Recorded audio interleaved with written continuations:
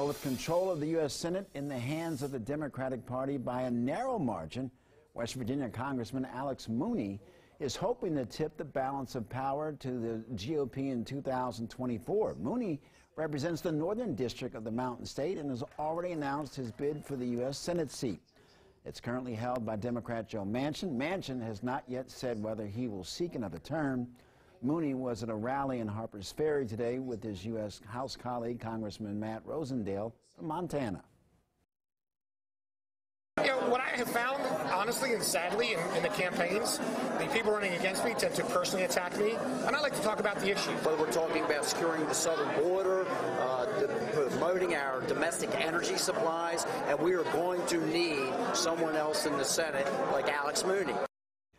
Well, Mooney's anticipating a Republican primary challenge from Governor Jim Justice. The West Virginia Republican primary is in May of next year.